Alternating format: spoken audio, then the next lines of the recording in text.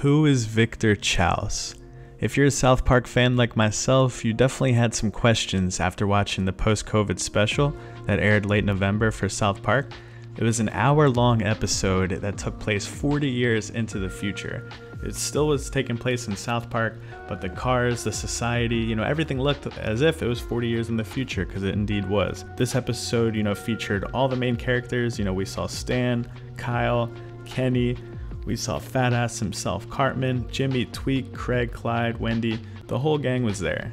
But we didn't see Butters. And I'm pretty sure we got a major Easter egg in this episode in the way end, literally the last few seconds, and we're going to show it here shortly. Um, and there's some insane conspiracies going around this, and not just that, but there's proof that this Victor Chaos guy that they mention at the end, they briefly mention him. Uh, this character, it goes way deeper than you would imagine, and we have proof to back it up. So sit back, South Park fans. This one is rather interesting. I'm seriously who is Victor Chaos? And in this next part, we're going to break down the cliffhanger, and this was the end, the very end of the episode, the, the post COVID special.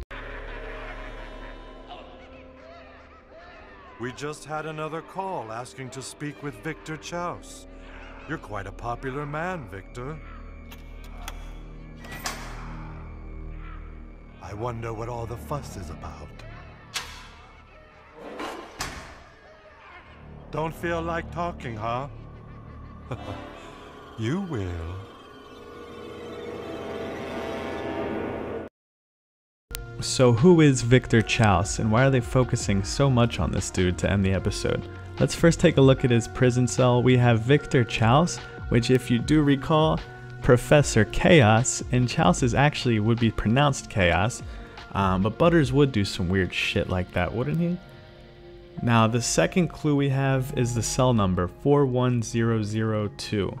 Now, believe it or not, this is the exact episode date for Professor Chaos. So, April 10th, 2002 is the exact date Professor Chaos was aired, and here's some screenshots to prove that. That alone is absolutely nuts, and I think that is all we need to conclude that Victor Chaos is actually Professor Chaos. And of all the people, you know, who, who would get themselves into this pickle, wouldn't you guarantee it would be Butters?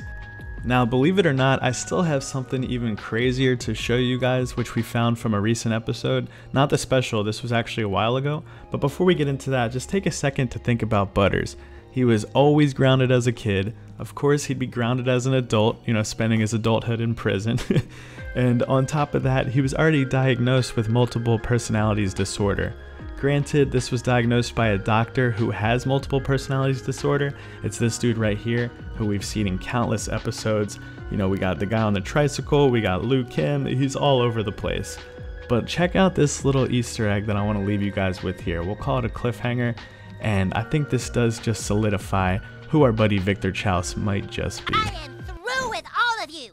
No more Postman Butters, no more Inspector Butters, no more Porn Star Butters, no more Professor Chaos and no more...